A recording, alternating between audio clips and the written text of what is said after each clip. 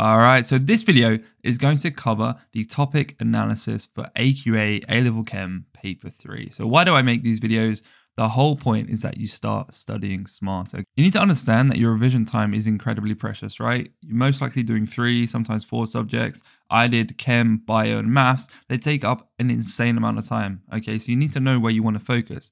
Remember, exams are like a game. If you learn the rules to the game, you master the game. The rules are in the examiner's report, specification, mark scheme, stuff like that. Okay, but I've gone one step further. So, which topics should you focus on to improve your chance of getting an A or an A star? So, hopefully, you're familiar with paper one, paper two for chemistry, already done, link in the description. If you're not, I'll explain everything throughout the video. But it's really important to understand I am not a psychic wizard master guru. I don't know what's going to happen. I can't predict the future. This is just looking for patterns, analyzing the mark schemes, stuff like that. Okay? All right, cool. With that out of the way, let's look at the contents of this video. What are you going to learn? Why are you here? So we're going to take a look at a required practicals 1 to 12 summary real quick. I went into it a lot more detail in my paper 3 2023 video, so check that out if you're bothered. For the purposes of this video, I'm just going to skim through it, let you pause it, take your notes, do all that good stuff. I'll highlight a couple points, but apart from that, I'm going to skim through. Topic analysis paper 3 MCQs. Okay, so this is where paper 3 is kind of unique because there are 30 marks for each paper which are allocated to multiple choice questions. And because they're all just one mark, this varies a lot. So we'll look at that as well. Then we're going to look at look at the core questions. Now I've just called them the core questions, but it's essentially section A. So you know there's normally five, six questions which are all to do with synoptic, which just means like a jumble of all the content in the specification together, linked together, and required practicals. Okay, so this is this is what the core questions are going to be. We'll take a look at that. Then we'll do a summary table right near the end where you're hopefully familiar with this, where I look at frequency, marks per paper, stuff like that. And this is really where you want to pay attention. If you don't care about anything else, skip forward to this point and take note of which topics you should focus on. And then lastly, we're going to look at an analysis of the core and the MCQ questions all together. We're going to look at grade boundaries and we're also going to look at a split of what percentage of paper three has been physical, organic, and inorganic. So let's go. Right, required practical one to four. As I said, I'm going to skim through this crazy fast. So pause video if you need to take notes. A lot of this information was taken from a mixture of the specification and the AQA practical handbook. Honestly, a lifesaver. Check it out. If you haven't, just Google AQA A-Level Chem practical handbook and you should find it. The main points I want to emphasize here required practical 2 and required practical 3. For this purposes of A level, I have combined energetics and thermodynamics and I have combined kinetics and rate equations. And that is consistent throughout the entirety of paper 3. The reason for this is because there is a lot of synoptic crossover naturally being paper 3 between these two topics. So you've got energetics year 1, then you have thermodynamics year 2, kinetics year 1, rate equations year 2. They're sort of like branches they should sort of just be called like energetics 1, energetics 2, kinetics 1, kinetics 2, or something like that, because they feed on from one another. Okay. And in these required practicals 2 and 3, they can ask you different knowledge questions based on thermodynamics, even though technically this is a required practical under the energetics topic. So just keep that in mind. Okay. The same thing for required practical 4. I've grouped group 2 and group 7 okay because there are some simple test tube reaction questions that are a mixture of all of them all right, so just keep that in mind. So that's practicals one to four out of the way. Let's look at five to eight.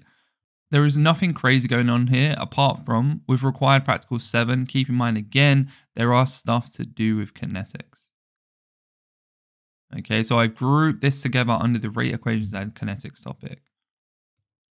9 to 12, nothing crazy here, okay? This is slightly grouped just because there's a bit of overlap between transition metals and reactions of aqueous ions, but for the most part, it's reactions of aqueous ions. All right, so as I said, skim through this super fast. Feel free to pause and check it out, take some notes, whatever you got to do. Let's take a look at the MCQ questions for 2017 to 2023. So if you're not aware, I've sort of already covered it in this video, but each paper three has 30 marks up for grabs for multiple choice questions. So that's seven papers times 30. There's going to be 210 marks here. Okay. Now, all of the marks aren't covered on this graph right here. There's a cutoff point where I just excluded everything that was below five marks across the seven years for the purposes of this video. All right, cool. So hopefully that's all good. Now, if you're not familiar with this, y-axis is the number of marks that this topic received, and then on the x-axis you have the respective topics, which each column's just being, you know, its own topic, right? Pretty simple. So king right here is transition metals. Then we have acids and bases. These two are by far the highest, and these were also the highest among paper one as well. So yeah, keep that in mind. Paper one, paper three, quite a lot of overlap here with the multiple choice questions. Then we have amount of substance, bonding, polymers, rate equations, group 7, amino acids, carboxylic acids, atomic structure, alcohols, energetics, and it dips off a bit.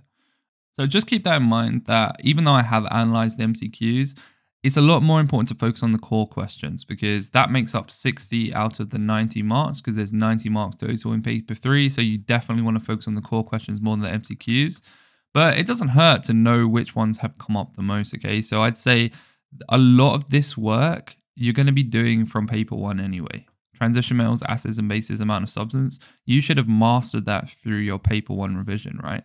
And then from here, you have some rate equations and kinetics from paper two, stuff like that. Okay, so MCQ, I'm not going to cover too much. It's not really that relevant. We'll look at towards the end of the video a combination of the core questions and the MCQs just to see how things look overall. So let's look at the core questions. So this is across the seven years again, 2017 to 2023. If you want to see what it looked like previously, I go into a lot more detail in my paper 3 2023 video. So again, check that out. Now, first and second topic here, energetics and thermodynamics. That's what this says, dot, dot, dot, is thermodynamics. And then rate equations and kinetics. So these are joint topics for the purposes of paper three. The reason for this is there was just so much overlap, guys. It just made so much more sense to group the two topics together. You can learn them in conjunction. Energetics and kinetics are really simple year 12 topics. Just bang them out and then move on to the more complicated thermodynamics and rate equations. Now, for the purposes of going back here to required practical two and three, there's a lot of rate equations and thermodynamics knowledge in these two required practicals. So if they do come up, just keep that in mind. That is also another reason why I have grouped them together here. Now on from there, we have transition metals and carboxylic acids and derivatives. These are both joint third place right here. Then we have amount of substance, acids and bases, electropotentials, alcohols, amino acids, proteins, and DNA, and then it sort of trickles down here. Okay, and as before, there are topics past here, but for the sake of this video, like, why do I, why do I care about anything that's less than four marks under seven years of papers? Okay, it just doesn't make sense. Now, if you watch my paper 2 2024 video, you'll know that energetics was like all the way down here at like 10 marks and then it received 12 marks in paper 2 and that sort of popped it up uh, paper 2 2023 right so that popped it up the leaderboard so something could happen just like that for paper 3 so keep that in mind maybe you'll get a required practical on chromatography or something like that okay so just keep that in mind now that's actually perfect mentioning chromatography here so this is our core questions paper 3 2023 so this right here, first place surprised me quite a bit. Amino acids, proteins, and DNA. So this this paper was very amino acids heavy, right? And it also had chromatography knowledge from the amino acids, proteins, and DNA topic. So it wasn't just the chromatography topic, but this topic also includes chromatography. Okay, so mentioning stuff like chromatography here, standalone, uh, right here, doesn't really have many marks allocated to it. But there's quite a bit of crossover, so just keep that in mind. This also contains some chromatography. And then we had carboxylic acids and derivatives, alcohols, amount of substance, bonding, reactions of aqueous ions, acids and bases, and energetics and thermodynamics. So yeah, that's the core questions of 2023. If you want to see a breakdown of each individual year's paper, so 2017, 2018, etc., check out the previous video. Let's look at all questions paper 3 2023. So this is the core questions and the MCQ questions, okay? And if you're not familiar with this, this red dashed box right here, this just highlights that if you got 100% in these topics right here, you would have got an A, okay? As we can see, these are our grade boundaries over here. This is out of 90 marks, remember guys, for paper three. So an A was 63 marks or 70%, okay? And here, this is 67. So I've just included, if you got 100% in these topics, you would have got an A, okay? You can obviously expand it to jump up to an A star, drop it down for a B, etc. But the principle here is that you can focus on overarching topics that come up the most, and this is where you're going to snag majority of your marks, okay? So this year, like I said, guys, a bit of a curveball with the amino acids, proteins, and DNA. Next up, we have carboxylic acids and derivatives, amount of substance, bonding, alcohols, acids and bases, reactions of aqueous ions. Okay, so looking at a paper one year on its own is not really helpful. What you need to do is look for patterns. Okay, you need to look at what topics come up the most. So if we were to look at these questions right here and we were to match some of the top topics for this paper, it would fall under a lot of these top topics within all three years. And that's what we're going to look at now, the summary table. Okay, and then we'll look at the grade boundaries across all the years, just so you guys can have a deeper look at what's involved. So here on this column right here, these are all the topics that I would focus on for paper three. Obviously, you want to start near the top, and I'll jump into my reasoning behind that in a second. This is not all the topics. Obviously, in paper three, if you guys weren't aware, you can get tested on every single topic in the specification. So this is clearly not all of that. I've just highlighted the ones that I would focus on to begin with, okay? So now, as you can see up here, energetics and thermodynamics, this is just the core questions, remember, okay? Just the core first five to six questions that come up with the short answer responses, the required practical synoptic knowledge. This does not incorporate the MCQs. Just because they're only one mark each, it was sort of pointless to look at their frequency because they could just skew that like crazy. Okay, we'll look at that in a second. All right, so let's break this down. Obviously, the two kings here are energetics and thermodynamics, rate equations, and kinetics. This is going to help you out so much with paper one, this one right here, and also maybe some energetics if they incorporate that into paper two, like they did in 2023 last year, but I don't really see that happening again anytime soon. And this rate equations and kinetics is going to help you so much for paper two. Okay, so doing these for paper three is going to help you with paper one and two, just naturally. All right, transition metals is going to help you a ton with paper one because that comes up like crazy. Carboxylic acids and derivatives, one of the top ranking topics for paper two. So revising that for paper three is a no brainer. Amount of substance has come up seven times. So if I didn't talk about this previously, if you, if you haven't seen any of my videos, this just tells you how many times that topic came up across the years. So if it came up in every single paper, that's a seven right here. If it came up in five of the seven papers, that's a five right here. Hopefully that makes sense. And this average marks per paper is just this number, the total marks divided by this. Okay, that gives us this average marks per paper that it appeared in. So going back to that then, amount of substance came up seven times, right?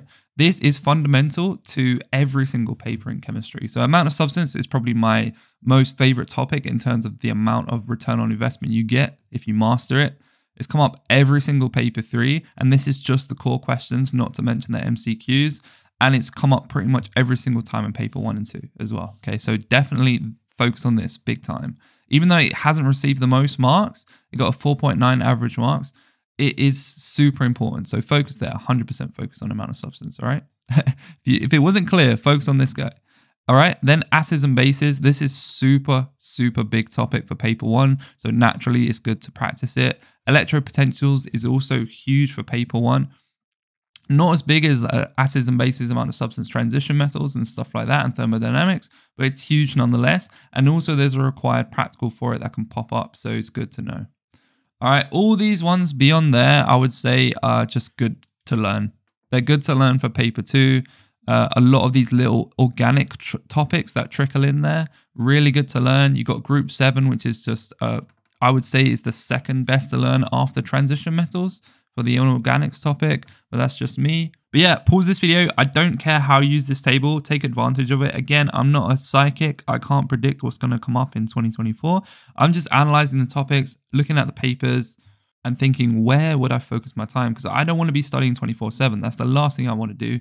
So screenshot this, send it to your mates. Hopefully, it can help them out with chemistry. Let's take a quick look at this final chart here. Okay, so this is the core and the multiple choice question. So every single mark up for grabs for paper three. How is it broken down? Energetics and thermodynamics naturally and rate equations and kinetics. These are naturally top one and two just because they're joint topics. They heavily favor required practical two, three, and I believe was it seven? I think it was seven. Yep. Okay, so just keep that in mind. They heavily favor them. And then from there, we have transition metals, carboxylic acids, acids and bases, amount of substance, electropotentials. These are all huge in paper one, so it naturally makes sense to stack them. And you have a bunch of organics down here. So what's this up here, this, this pie chart, this donut chart? This is new to my videos. I'm going to take a look at doing this more often. um, especially if I did an overall A level chemistry or A level biology, like all paper one, two, and three analysis.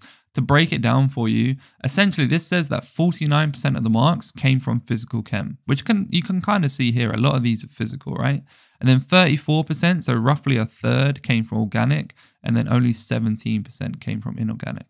Okay. Now, 17% from inorganic, a lot of that was transition metals.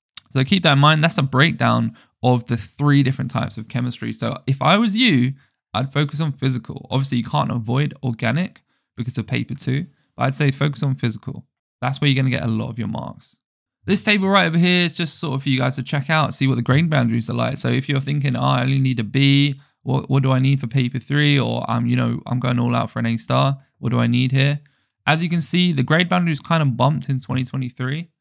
Um, I'm assuming that 2022 had a lot of higher grades. I think I saw an announcement that there was a lot more A stars than there'd been for years and years. So they probably bumped up the grade boundaries again since then.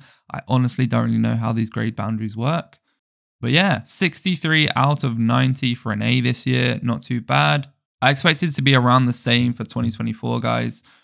Around low 60s would be my guess. It was a really hard paper, high 50s, but there we go. I really hope you found this video helpful. It took me an insane amount of time to analyze all these papers and do all these charts and stuff. So if you did find it helpful, like the video, share it with your mates, subscribe for future videos.